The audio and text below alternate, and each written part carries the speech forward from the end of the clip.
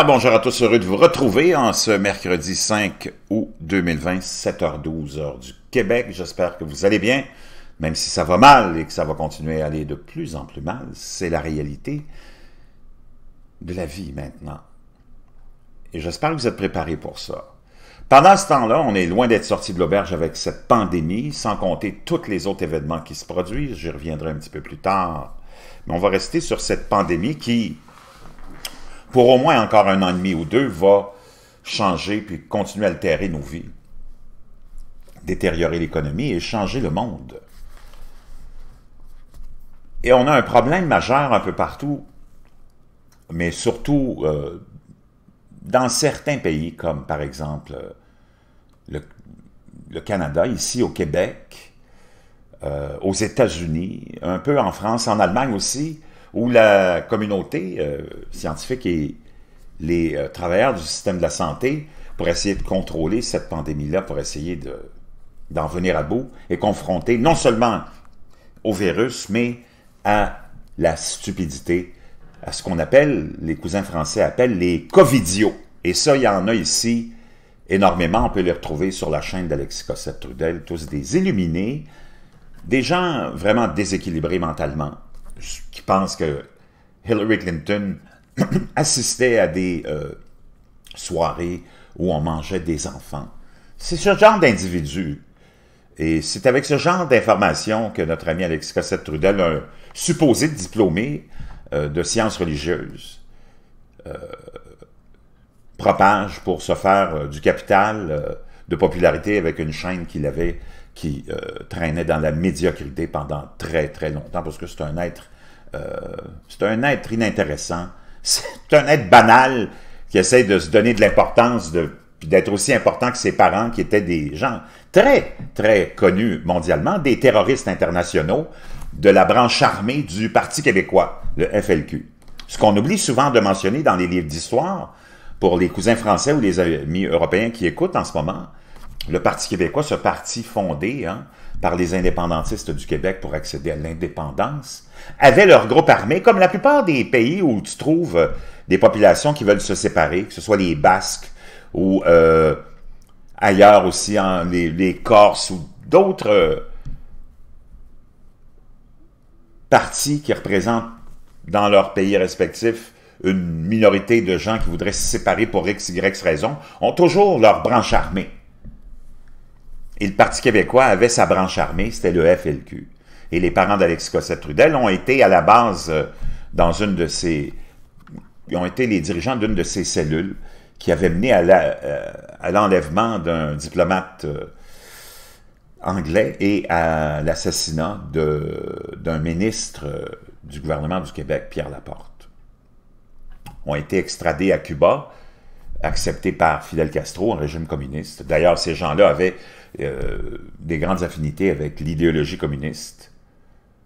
Et Alex Cossette Turdel est né à Cuba. Par la suite, ils sont allés euh, euh, faire un bout de chemin en France. Ils ont été accueillis par les Français avant d'être rapatriés au Québec par René Lévesque, qui leur a donné sur un plateau d'argent presque la grâce présidentielle d'une république de bananes et après ça, ses parents euh, ont trouvé des emplois vraiment, vraiment bien rémunérés. Le père d'Alexis Cossette-Trudel est devenu consultant pour le ministère de la Santé avec zéro expérience, zéro compétence, et sa mère est devenue la présidente des infirmiers et infirmières du Québec. C'est un petit peu gênant. Je ne sais pas qui l'a imposé, mais c'est arrivé. Puis Alexis Cossette-Trudel naturellement étant le fils de terroristes internationaux, hein, c'est quand même pas rien, ben lui essaye d'être intéressant lui aussi. Et il s'est trouvé une façon d'être intéressant, c'est de raconter n'importe quoi et d'être devenu le président-chef des Covidios du Québec. J'ai eu un lien qui m'a été envoyé par Mary, on va aller le voir tout de suite, qui nous vient de son grand ami, hein, euh, Alex Cossette-Trudel, Richard Martineau, qui en parle un petit peu encore.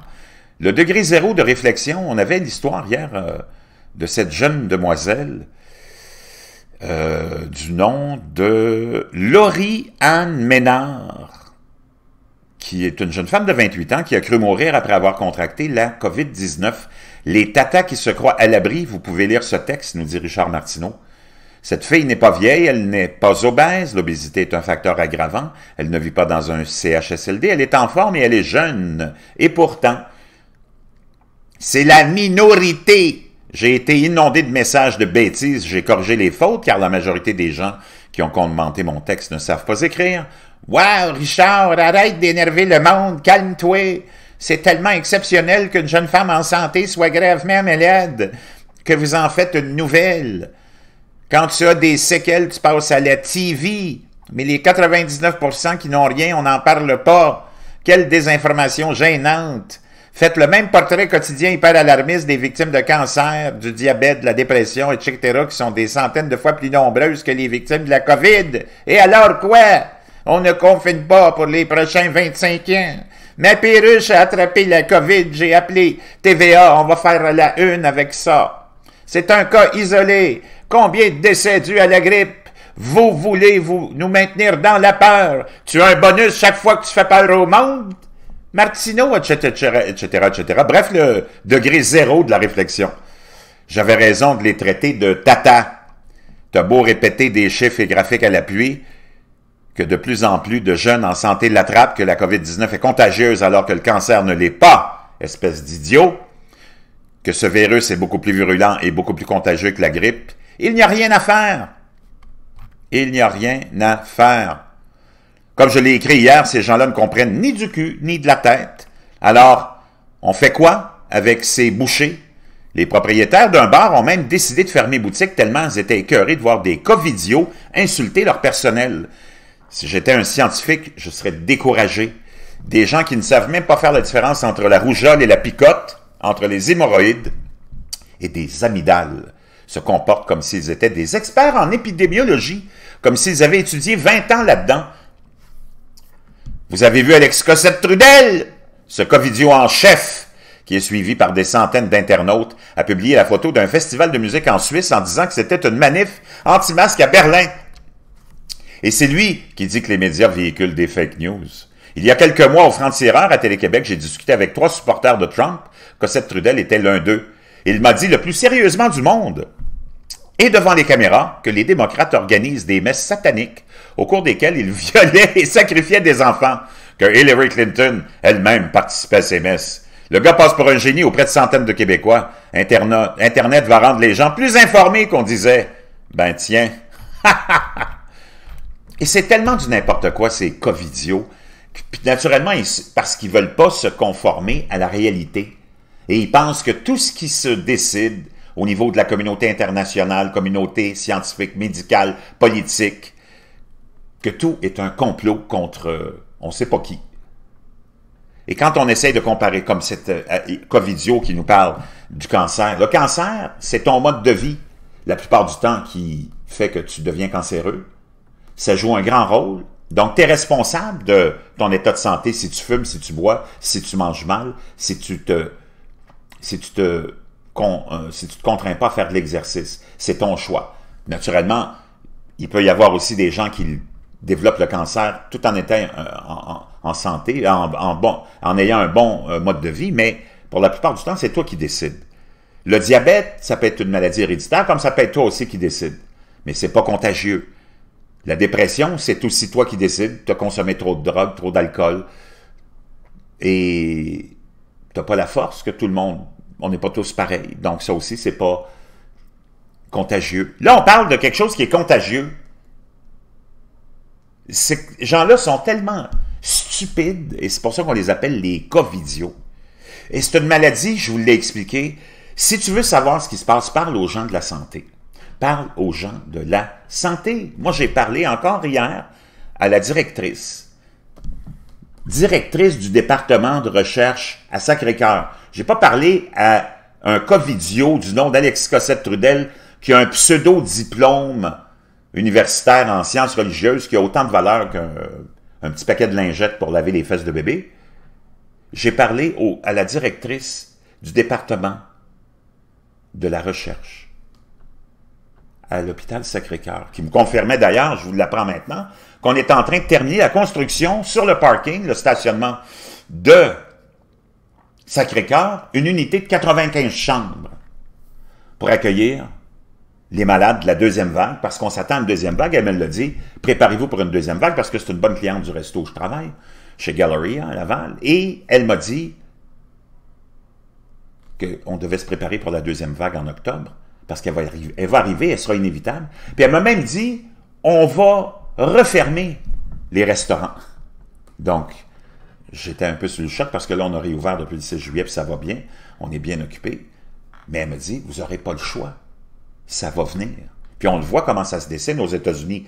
C'est complètement hors contrôle avec un président complètement erratique qui fait que dans la conspiration, puis dans la conspiration. Le gars, c'est le président des États-Unis. C'est pas le président d'un club de débiles profonds, de, de gaufres mongoloïdes, d'un vieux ranch, dans le fond, d'un vieil État raciste, des États-Unis, c'est le président des États-Unis. Encore hier, avec ce qui s'est passé à Beyrouth, il est allé affirmer que c'était... Il avait tenu ça d'un général, c'est un général qui des généraux qui lui avaient dit ça, alors que le Pentagone a contredit le président ce matin que c'était une attaque. Ce qui est arrivé, l'explosion à Beyrouth hier dans le port, où il y avait 2500 tonnes de nitrate qui ont explosé, dû à un accident, et c'est un accident qui est arrivé à cause de la négligence et l'incompétence des autorités qui ont laissé 2500 tonnes dans le port de Beyrouth, en plein cœur d'un de quartier super densément peuplé. Ça aurait dû être déménagé. C'est là depuis 2012 ou 2011, je ne sais plus exactement précisément, mais on a affaire ici à de l'incompétence. C'est un accident. Donc, tu as le président des États-Unis qui raconte encore n'importe quoi. Donc, on est en train de finir la construction et en ce moment, il y a une crise majeure à Saint-Eustache, l'hôpital de Saint-Eustache. On est débordé avec des cas.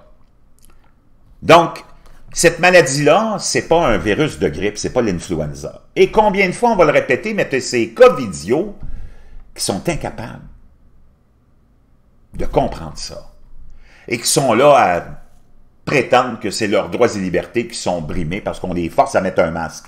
Quand on te force depuis des décennies à mettre ta ceinture de sécurité pour utiliser ta voiture, tu as eu ces COVID, c'est équivalent des Covidios au début de cette implantation, de cette réglementation obligatoire du port de la ceinture, dans les années, quoi, je pense, fin 70 peut-être, début 80. Est-ce que maintenant, tu fais encore les mêmes crises et que tu encore prétends qu'on est en train de brimer tes droits et libertés parce qu'on t'oblige à mettre une ceinture de sécurité? Est-ce que tu vas arrêter d'utiliser ta voiture? Parce qu'on t'oblige à mettre une ceinture de sécurité? Même chose avec les feux de circulation. Est-ce que ça brime tes droits et libertés d'avoir un feu de circulation qui, quand elle est au rouge, ce, quand ce feu est au rouge, on t'interdit d'avancer? Quand il y a un arrêt, un stop, est-ce que ça brime tes droits et libertés? Que d'arrêter pour respecter le stop ou l'arrêt? D'ailleurs, juste au Québec, on appelle ça un arrêt parce qu'on a euh, cette mentalité un peu stupide aussi, euh, qu'il faut traduire tout.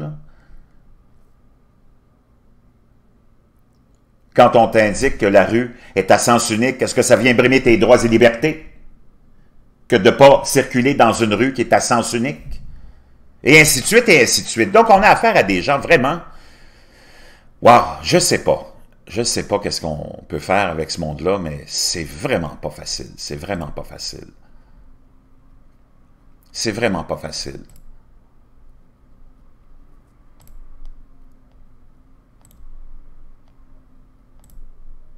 Une, épidémie de stupidité rend la lutte contre le COVID-19 plus difficile. Les médecins sont découragés.